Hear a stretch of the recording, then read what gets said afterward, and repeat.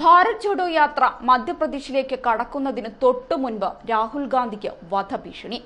രാഹുലിനെ വധിക്കുമെന്നും മുൻ മധ്യപ്രദേശ് മുഖ്യമന്ത്രി കമൽനാഥിനെ വെടിവെക്കുമെന്നാണ് വധഭീഷണി കത്തിൽ പറഞ്ഞിരിക്കുന്നത്. ഇൻഡോറിൽ പലയിടത്തും ബോംബ് സ്ഫോടനങ്ങൾ ഉണ്ടാകും. കമൽനാഥിനെ വെടിവെച്ച് വീഴ്ത്തും. നിങ്ങളെ നിങ്ങളുടെ പിതാവ് രാജീവ് ഗാന്ധിയുടെ അടുത്തേക്ക് അയക്കും എന്നാണ് കത്തിൽ പറയുന്നത്. ഇൻഡോറിലെ ജൂനിയർ പോലീസ് സ്റ്റേഷൻ പരിധിയിലെ ഒരു മധുര പലഹാരക്കടയ്ക്ക് പുറത്തുനിന്നാണ് ഭീഷണിക്കത്ത് കണ്ടെത്തിയത്. സംഭവത്തിൽ പോലീസ് അന്വേഷണം ആരംഭിച്ചു കഴിഞ്ഞു. പ്രദേശത്തെ സി സി ടി വി ദൃശ്യങ്ങൾ കേന്ദ്രീകരിച്ചാണ് അന്വേഷണം നടക്കുന്നത്. അതേസമയം ഭീഷണിക്കത്തിന്റെ പശ്ചാത്തലത്തിൽ മുഖ്യമന്ത്രി ശിവരാജ് സിംഗ് ചൌഹാനുമായി കൂടിക്കാഴ്ച നടത്തിയെന്നും സുരക്ഷാ ക്രമീകരണങ്ങൾ ഏർപ്പെടുത്തിയിട്ടുണ്ടെന്ന് അദ്ദേഹം ഉറപ്പു നൽകിയതായും കമൽനാഥ് മാധ്യമങ്ങളോട് പ്രതികരിച്ചു. പോലീസ് സുരക്ഷയുറപ്പാക്കും. മുഖ്യമന്ത്രി ശിവരാജ് സിംഗിനെ താൻ സന്ദർശിച്ചിരുന്നു. സുരക്ഷാ ക്രമീകരണങ്ങൾ ശക്തമാക്കുമെന്ന ഉറപ്പ് അദ്ദേഹം നൽകിയിട്ടുണ്ട് എന്നാണ് കമൽനാഥ് പറഞ്ഞത്. കത്തെഴുതിയ ആൾക്കെതിരെ ഐ പി സി അഞ്ഞൂറ്റിയേഴ് വകുപ്പ് പ്രകാരം കേസെടുത്തിട്ടുണ്ടെന്ന് പോലീസ് ഉദ്യോഗസ്ഥരും അറിയിച്ചു. ഇരുപത് മുതലാണ് മധ്യപ്രദേശിൽ ഭാരത് ജോഡോ യാത്ര നടക്കുക. മഹാരാഷ്ട്രയിൽ ഏഴിനായിരുന്നു ഭാരത് ജോഡോ യാത്ര എത്തിയത്.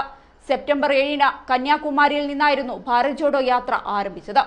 അതേസമയം നാളെ നടക്കുന്ന ഭാരത് ജോഡോ യാത്രയിൽ രാഹുലിനോടൊപ്പം നടക്കുക സ്ത്രീകൾ മാത്രമായിരിക്കും.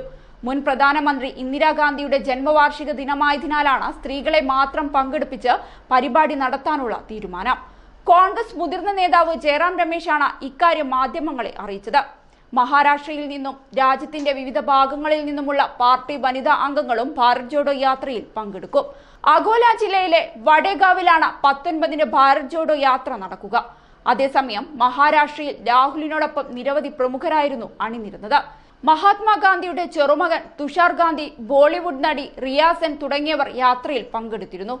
അതേസമയം ഗുജറാത്തിൽ നിന്ന് പശ്ചിമ ബംഗാൾ വരെയായിരിക്കും ഭാരത് ജോഡോ യാത്രയുടെ രണ്ടാം ഘട്ടം ഉണ്ടാവുക.